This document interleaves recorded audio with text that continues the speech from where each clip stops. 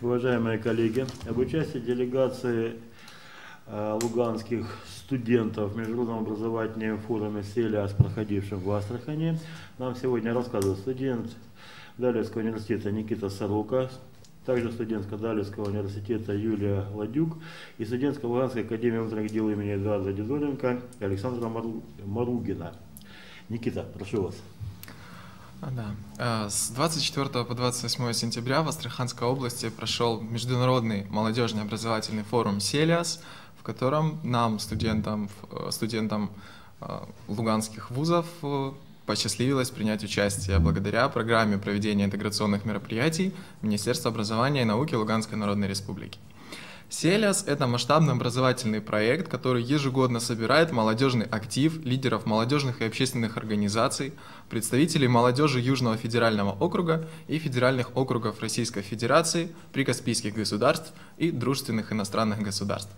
А, в 2018 году форум подготовил для будущих участников три основных тематических смены, в которых было шесть поднаправлений. Смены были бизнес, гражданское общество и медиа – в частности, мы, студенты Луганской Народной Республики, принимали э, участие в сменах бизнес и медиа. А, в смене бизнес были под направление «Старт» и «Полное погружение», гражданское общество были под направление «Волонтеры и молодежная политика», медиа были под направление «Традиционные средства массовой информации и международная журналистика».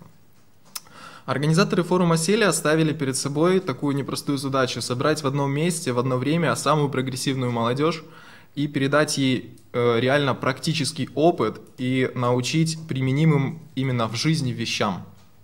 А, создать, пусть ненадолго, на время форума, мощную движущую силу молодежного сообщества.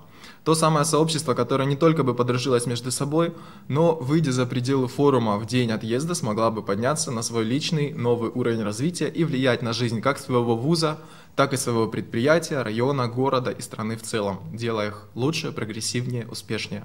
Ну, на мой взгляд, у организаторов форума эта задача свершилась. Участников форума разместили в детском оздоровительном центре имени Пушкина, что находится неподалеку от Астрахани. Приезжих из других регионов и стран прямо с вокзала встречал специально подготовленный транспорт. А, уставшие мы после длительного пути, занявшего больше суток, с первого момента были очень приятно удивлены четкой слаженной работой команды организаторов и волонтеров. Нас приняли, заселили, накормили, а, провели с нами регистрацию, рассказали о расписании. После прохождения регистрации каждому участнику выдавали комплект материалов с символикой форума. Это ручка, два блокнота, свитшот, бумажный пакет и бейдж. А на форуме все было подготовлено с максимальной точностью. Уже после открытия форума было известно, что на Селиас приезжали а, ребята из большого количества регионов – это были представители как Российской Федерации, так и это был Казахстан, Узбекистан, Азербайджан, Иран, Белоруссия и э, делегации из ЛНР и ДНР. Очень порадовала атмосфера дружелюбия, э, гостеприимства, взаимной поддержки на форуме. Все участники, организаторы и волонтеры были очень приветливы, отзывчивы. С каждым можно было легко познакомиться, непринужденно пообщаться и обменяться контактами. С каждого направления Э, у каждого направления, это бизнес, гражданское общество и медиа, был свой куратор. Это человек, который помогал участникам своего направления. По каждому направлению мастер-классы проводили настоящие эксперты своего дела. И из каждого семинара мы, в частности, вынесли для себя массу полезных и важных тезисов и заключений. Также мы завели некоторые важные связи с представителями Российской Федерации, которые смогут помочь в реализации совместных проектов с Луганской Народной Республикой. Это, к примеру, Ольга Мельченкова. Это представитель организации «Волонтеры Победа». Мы с ней беседовали, она готова сотрудничать, помогать, всячески поддерживать начинания волонтеров в нашей республике, чтобы больше приучать нашу молодежь к истории и помогать ветеранам. А также это Дмитрий Беспалов, это представитель компании Экоцентр. Он рассказывал нам, проводил мастер-класс о монетизации э, отходов производства. Его фирма занимается сортировкой и переработкой мусора. Он в курсе ситуации на Донбассе, он готов помогать заключить договор. Э, в Ростовской области сейчас строится мусороперерабатывающий завод. Э, то есть, возможно, наладить переработку отходов да, пэт-отходов это полиэтилен, в частности бутылки. Вот. Наша, то есть наша задача, в принципе, организовать сортировку мусора в городах, и призывать людей к чистоте, призывать людей к порядку, сортировать отходы. И ну, это можно действительно создать такое направление, как переработку отходов. А также это были такие люди, как Наиля Никитина, она готова консультационно помогать молодым предпринимателям, это уполномоченные по защите прав предпринимателей э, при губернаторе Астраханской области, то есть если кто-то из, возможно, наших соотечественников решит э, в Российской Федерации открывать какое-то свое дело, ИП или ООО, она готова действительно помогать вот с открытием таких форм работы. А также для нас э, проводили очень увлекательные мастер-классы Перепелецкий Михаил, это основатель компании OneTrack, член Генерального совета и Московского регионального отделения деловой России. Это Кацманова Мария, специалист по поиску и подбору персонала. Путилина Екатерина, управление финансами. Алексей Глызин, работа с командой мотивации. То есть было очень много практических моментов ребятам по, именно по бизнесу. Вот, в частности, мы с Юлей э, принимали участие в направлении бизнеса. Вот эти все люди э, выступали у нас на смене. А, кроме того, мы посетили встречу с губернатором Астраханской области. Он рассказал о перспективах и проблемах региона. Из его речи мы смогли сделать определенные выводы, подчеркнуть для себя важные моменты. Позитивная черта политики губернатора была большая поддержка молодежи, благодаря чему а, в области очень хорошо развивались образование, экономика, развлекательная сфера. Было много молодежных движений и обществ, а также существовал в целом позитивный общественный настрой. Форум также порадовал участников обширной развлекательной программой. Студенты в свободное время могли заниматься различным спортом. На территории пансионата имени Пушкина, где расселили участников, располагались футбольная, баскетбольная, волейбольная площадки, а, были велосипеды, велодорожки, небольшой тренажерный комплекс на открытом воздухе, теннисные столы. А, различные увлекательные конкурсы проводили организаторы среди участников. А, для участников из других регионов и соседних стран была организована экскурсия по Астрахани. Даже это было две экскурсии в один день и в следующий. Сначала экскурсию провели для участников из других стран, потом экскурсию провели для э, участников из других регионов России. Пять дней на форуме пролетели для нас на самом деле как один. Насыщенная программа и постоянно интересные события не давали просто заскучать, а, ну и толком выспаться тоже не давали.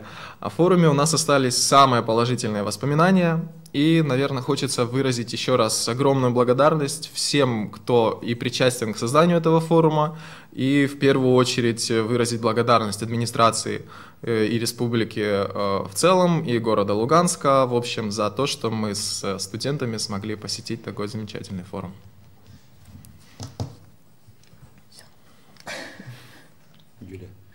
Ну, я могу только добавить э, и присоединиться к пожеланиям, сказать большое спасибо не только городу Луганска и нашему правительству, но и организаторам форума «Селиас», потому что «Селиас» длится на протяжении 11 лет, и это первый международный, именно международный форум, куда приглашали людей не только с регионов, но и из других стран, так же, как и нас участников Луганской Народной Республики и Донецкой Народной Республики. Мы познакомились, мы до сих пор со всеми общаемся, у нас остались связи, мы добавили друг друга, как бы не банально, в соцсетях, мы поддерживаем дружеские отношения. Есть люди, которые хотят приехать к нам, посмотреть наш город. Это именно люди из Казахстана.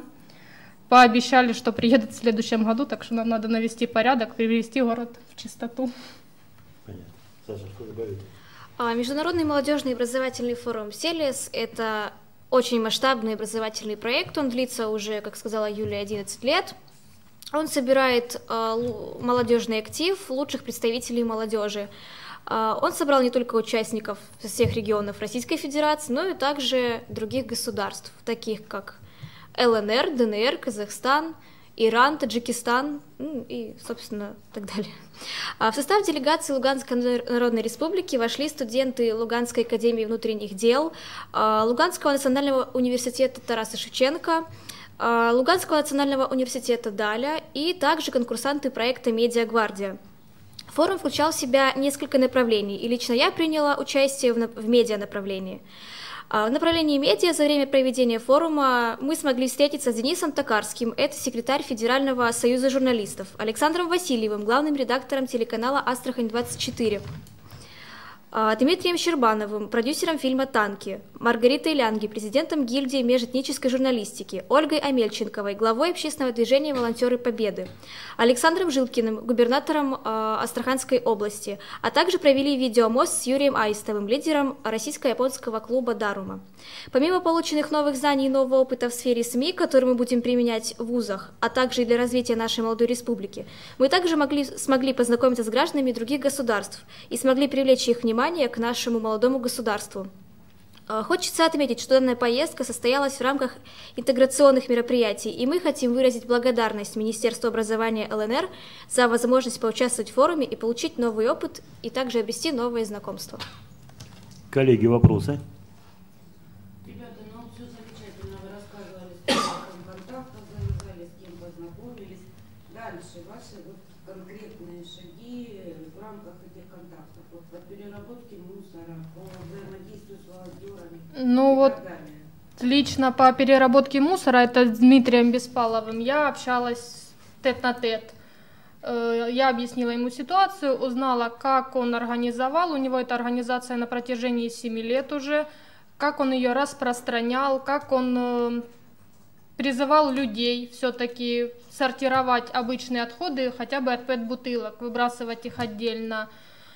Ну, как он объяснил, это у него все через, сначала через друзей и также соцсети. Это какой-то сайт, это основание, та же группа ВКонтакте, добавлял, агитировал людей. Понятно, что это все строилось у него не сразу. Э, Чем он может нам помочь? Это единственное, что все-таки как бы подписать договор с Ростовской областью, но, как он сказал, не завод начали строить, но когда его достроят, через год или через полтора, это как бы неизвестно. Ну, только вот так с договором. А как я же говорю, поставить бутылки, а как наших людей призывать все-таки выбрасывать? Без... Я без понятия. Тоже создать какую-нибудь организацию, делать больше рекламы. У нас есть реклама в городе, ее очень много патриотической. Но та реклама, которая призывает людей хотя бы к порядку, ее нет. На том же телевидении у нас одна патриотическая реклама. Я ничего против патриотической рекламы не имею.